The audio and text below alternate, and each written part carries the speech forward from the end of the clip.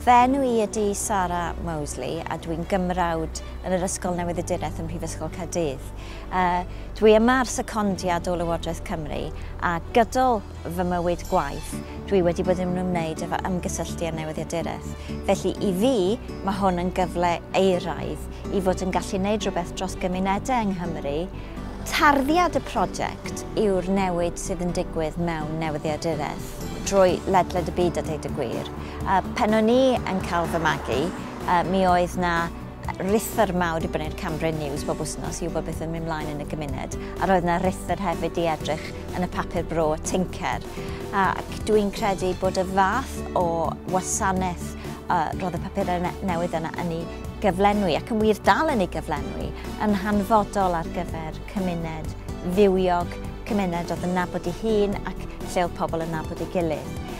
Be sydd wedi digwydd oherwydd y chwildro mewn technoleg digidol ydy bod nifer o bapurau lleol yng Nghymru na lle wedi cael neu wedi cael swyddfeidd lle mae yna newyddiadurwyr yn draddodiadol wedi bod yn rhan o'r gymuned. A mae hynny wedi gadael bwlch. Mae'r ymchwil dyn ni wedi weld ym Mhrifysgol Caerdydd fan hyn yn dangos bod yna ddeheuad mawr i gael gwybod beth sy'n digwydd mewn cymunedau o hyd. Ond dydy'r darlun ddim yn ddi i gyd oherwydd y peth arall mae uh, technoleg digidol wedi galluogi ydy mae wedi galluogi bob math o bobl i greu ac i rannu newyddion a cynnwys yn rhad ac am ddim ac mewn ffordd rwydd iawn. Felly, beth ni y byty ydy gweithio gyda cymunedau i wneud e y mwyaf o'r cyfle yna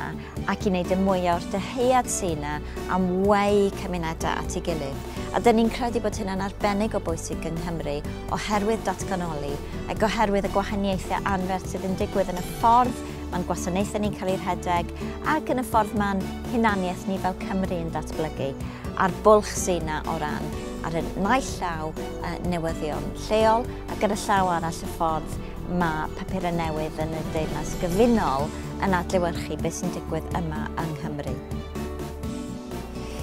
Mae yna draddodiad unigryw yma o yng Nghymru o bapurau bro.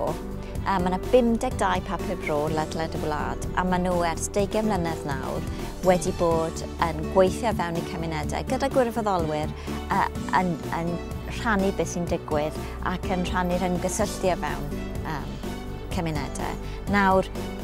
Wrth gwrs, er mwyn cyrraedd to ifanc ac er mwyn cadw i fynd, uh, mae angen i rhai o'r papurau bro yna uh, ddechrau y moderneiddio a dyn ni yn falch iawn o fod yn gallu gweithio gyda nhw. Er enghraifft yma yng Nghaerdydd, dyn ni wedi gweithio gyda dynesydd i greu y gwasanaeth newyddion o gwybodaeth digidol cyntaf erioed ar gyfer y brif ddinas, ar gyfer y 36,000 o, o Gymru Cymraeg sydd yn byw yn y brif ddinas yna. Un o'r pethau gorau am y prosiect yma ydy bod ni wedi gallu partneriaethu gyda mediadau a sefydliadau sy'n rhyw un fath ag amcanion â ni. Felly, er enghraifft, dyn ni ar fi'n cychwyn a rhywbeth yr enw digidol o'r daith